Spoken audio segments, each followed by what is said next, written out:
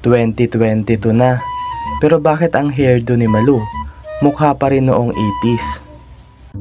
Ayon kay Malu, uso nga daw yung kasabihan dati na guluhin mo na yung buhay ko, wag lang yung bangs ko.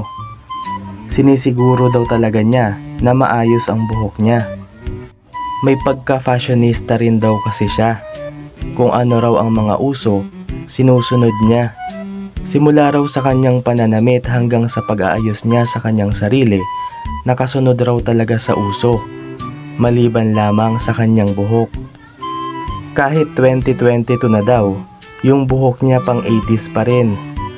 Tis raw kung tawagin ang style ng kanyang buhok at ginagamitan pa niya ito ng spray net. Sa taas nga raw ng buhok niya, feeling niya ay isa na siyang beauty queen. Pero may mas malalim at mas malaking dahilan raw kung bakit ganito ang ayos ng kanyang buhok. Sabay-sabay nating alamin ang totoong dahilan kung bakit pang 80s pa rin ang hairdo ni Malu ngayong linggo ng gabi sa kapuso mo Jessica Soho.